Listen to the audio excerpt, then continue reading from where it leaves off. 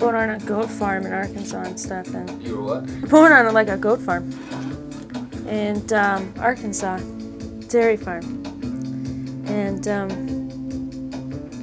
then my parents moved to Cleveland, Ohio. Dad was an electrician, my mom was a school teacher. Totally Midwest.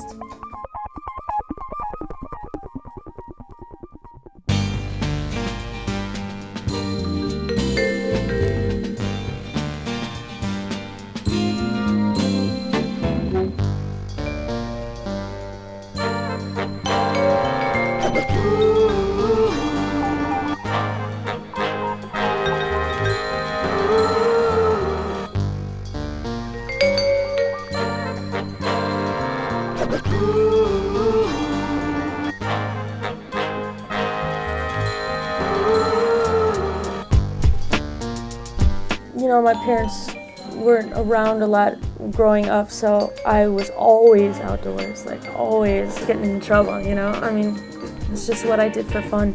And um, just like picking up weird things and bringing them back and seeing if I could draw them in like under 10 seconds, just for the hell of it. And I guess it just never left, you know?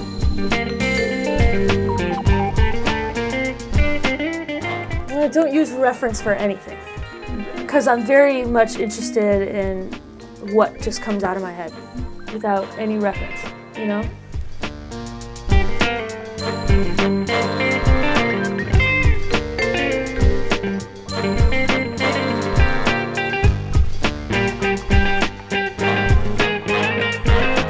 I've always tried to keep my eyes like one eye open and one eye closed.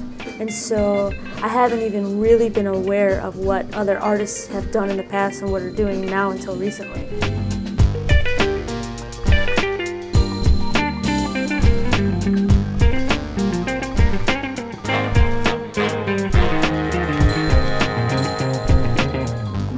It's just me dealing with things, you know? Like, I feel really bad or good or any feeling that I just need to get out in some way.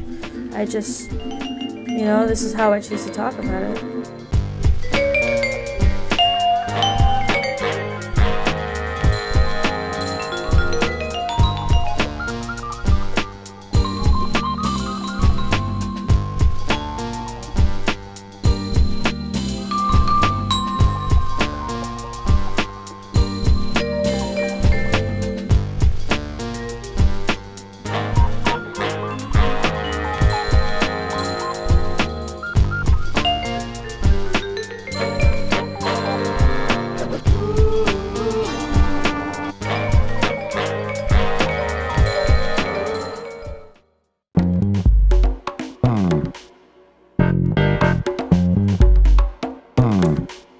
Uh, the show is called Black and White.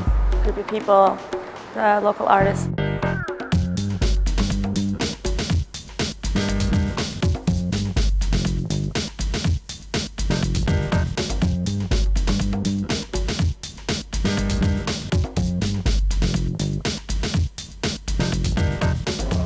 This one is about girls just playing head games.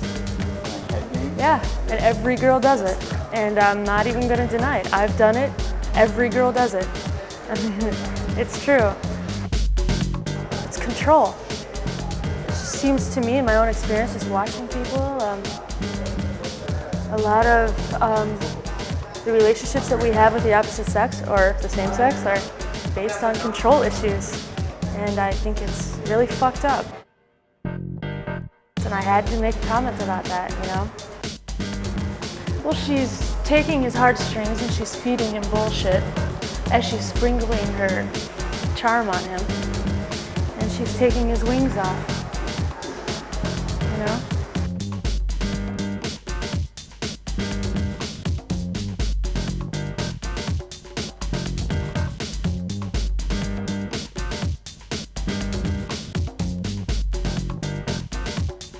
I think that people are completely getting numb. It's been for a long time. We're losing our ability to even care about one another. But all I'm saying is we gotta be willing to just like recognize and not accept that kind of shit. At least I don't.